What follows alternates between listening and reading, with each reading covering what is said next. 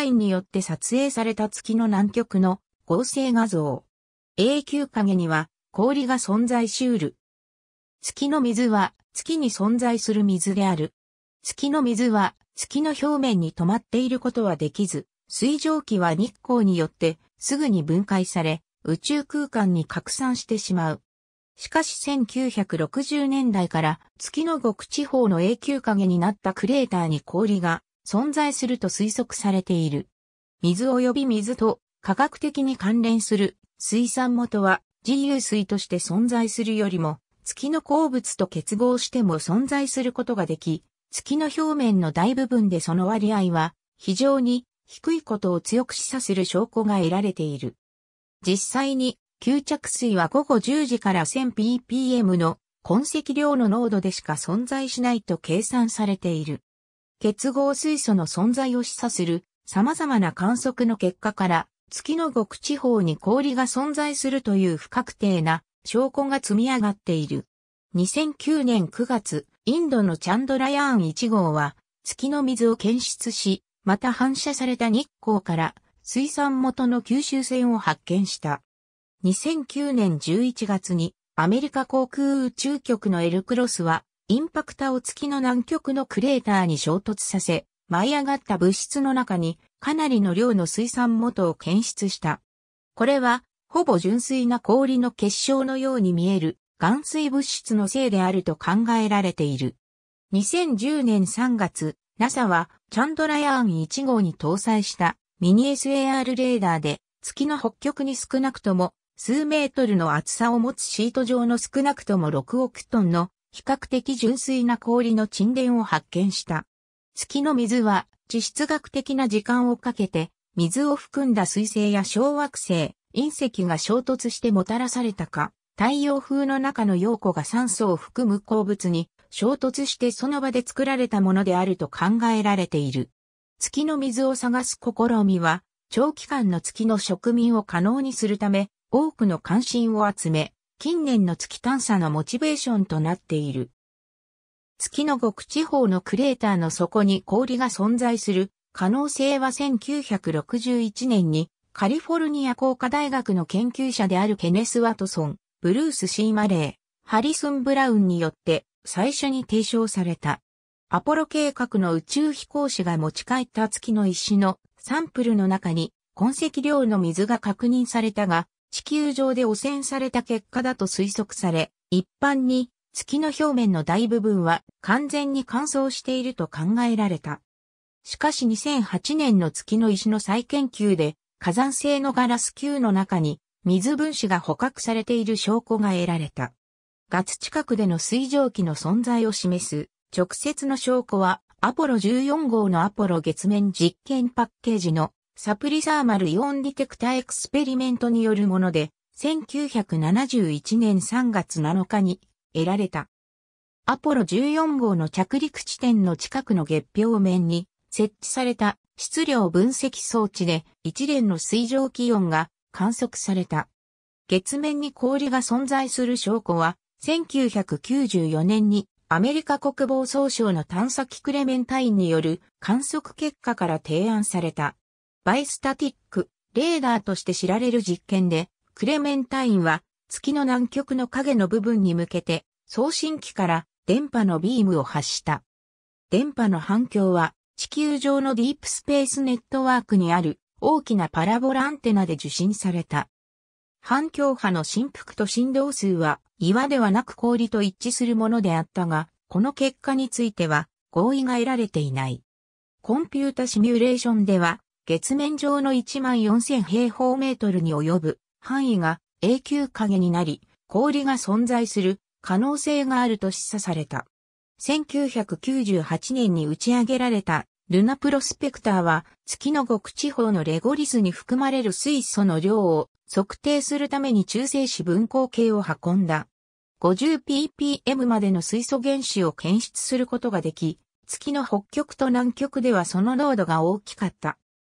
これはかなりの量の氷が永久影のクレーターに囚われていることを示唆していたが、ヒドロキシルラジカルが月の鉱物と科学的に結合している可能性もあった。クレメンタインとルナプロスペクターによるデータに基づき、NASA はもし月面に氷が存在すると仮定すると、合計の存在量は1から3キロ立方メートルになると推測した。月の水に関する懐疑的な考えは、主に1999年に月を通過したカッシーニのデータに基づくものである。1999年7月、このミッションの最後にルナプロスペクターが意図的に月の南極近くのクレーターシューメーカーに衝突させられた。かなりの量の水が検出されることが期待されたが、地上の望遠鏡による分光測定では水のスペクトルは観測されなかった。ディープインパクト2005年、探査機ディープインパクトによる観測により、月に水が存在することを示唆するデータが得られた。2006年のアレシボ天問題の惑星レーダーによる観測では、クレメンタインのビームの極地方のいくつかの地点からの反射が氷の存在を示しているとされた。もしこれが真実であれば、ルナプロスペクターによる中性子分析の結果は単体の水素分子や有機物等、主に氷以外の形の水素からのものとなる。にもかかわらず、アレシボ天問題のデータの解釈は、永久影のクレーターに氷が存在する可能性を排除するものではなかった。2009年6月、NASA のディープインパクトは月フライバイの際に、さらに確実な結合水素の観測を行った。かぐや2007年9月に19ヶ月の探査に打ち上げられた日本のかぐやは月面地図作成計画の一環で軌道上からガンマ線分光測定を行い月表面の様々な元素の存在量を計測した。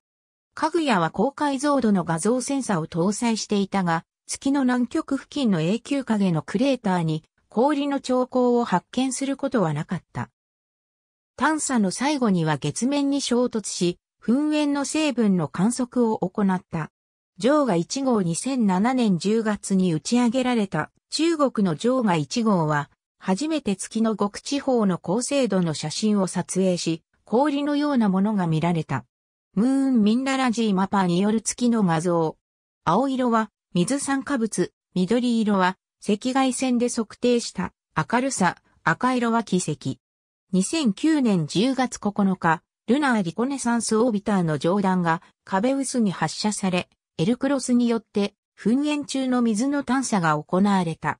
チャンドラヤーン1号2008年11月14日、インドの探査機、チャンドラヤーン1号は、月の南極付近のシャクルトンに向けて、ムーンインパクトプローブを放出し、20時31分に衝突した。この際舞い上がったゴミが水の存在の分析に供された。2009年9月25日、NASA はチャンドラヤーン1号に積まれたムーンミンララジーマパーから送られたデータにより、低濃度で土壌と結合した水産元の形ではあるが、月の表面の大部分に水素が存在することが確証されたと発表した。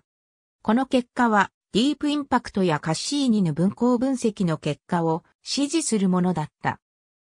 2010年3月、チャンドラヤーン1号のミニサー実験装置により、月の北極付近の永久影クレーターの中の冷たく、暗い斑点の部分に6億トンもの氷が存在するという仮説が報じられた。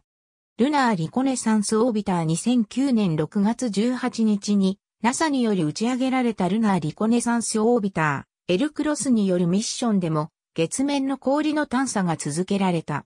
ルナーリコネサンスオービターに積まれた様々な機器による観測で水の存在の新たな証拠が得られた。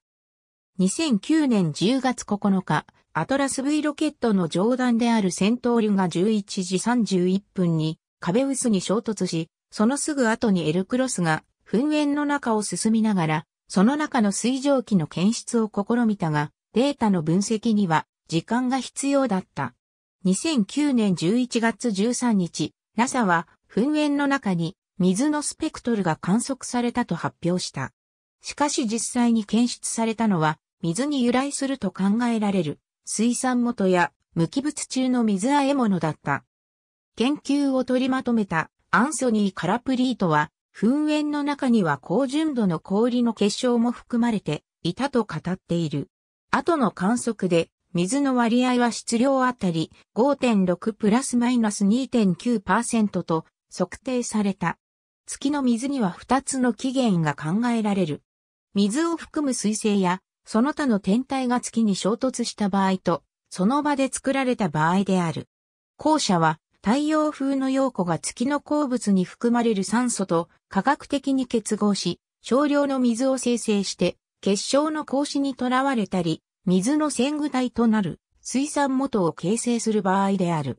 陽子と酸素原子の反応によって生じた水酸基表面は酸素表面とさらに反応して水分子になり酸素表面に吸着される。化学反応の質量バランスは酸素表面は以下のような反応をすることを示唆している。2SO、S イコール OSH2O、または 2SO、SOSH2O ここで S は酸素表面を表す。一つの水分子の生成には、二つの隣接した水酸基か一つの酸素原子の二つの陽子との連鎖反応が必要である。このため、単位面積あたりの陽子密度が小さいと水の生産の制限要素となる。太陽放射により、月表面からは自由水や水蒸気は分解され、陽子と酸素原子に分解し、宇宙空間に逃げていく。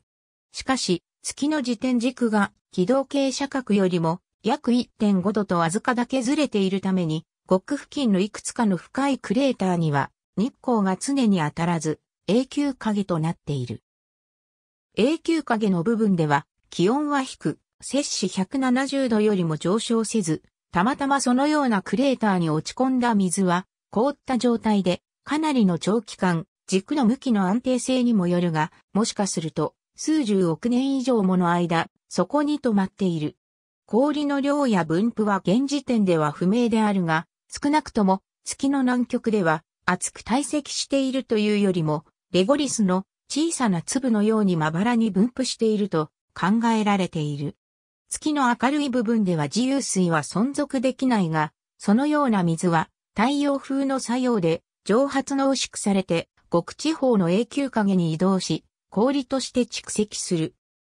月面上で水が移動し、捕獲されるする気候は未知である。実際に水の生産が行われる太陽風にさらされる領域は水が濃縮されて捕獲されるには暑すぎる。一方、太陽に直接さらされない冷たい領域では水はほとんど生産されない。明るい領域では水分子の寿命が短いことを考慮すると移動距離が短いほど捕獲される可能性は高くなる。言い換えると、冷たく暗い極地方のクレーターの近くで生産される水分子は捕獲され生き残る可能性が最も大きくなる。時間的、空間的にある程度、宇宙の真空に直接さらされているオキシ水、酸化物鉱物の表面で水素の直接交換や表面拡散が起こることは水が冷たい場所まで移動する気候の候補となり得る。地球からの水の運搬は高価になることが避けられないため、月面上の大量の水の存在は月の植民を経済的に進める上で重要な要素である。